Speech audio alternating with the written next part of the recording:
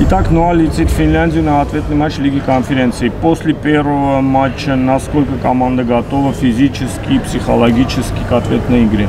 Я думаю, что полностью готовы. Провели работу над ошибками.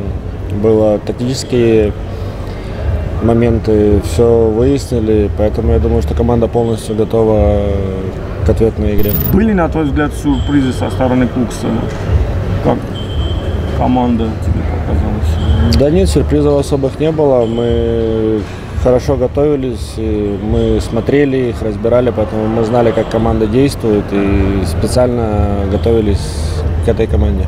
Сейчас ответный матч пройдет на искусственном покрытии, что для Нуа непривычно. Это как-то может повлиять, на твой взгляд? Нет, я думаю, это не должно сыграть большой роли, потому что, да, искусственное поле отличается, но опять же, я не вижу в этом никаких больших проблем. Что, на твой взгляд, будет основным для того, чтобы Нуа преодолел этот барьер? Что нужно команде? Да ничего, концентрация, большое желание и просто выйти и сделать свою работу так, как мы это делаем на протяжении уже не первого года. Просто сыграть свой футбол, и я думаю, что все получится.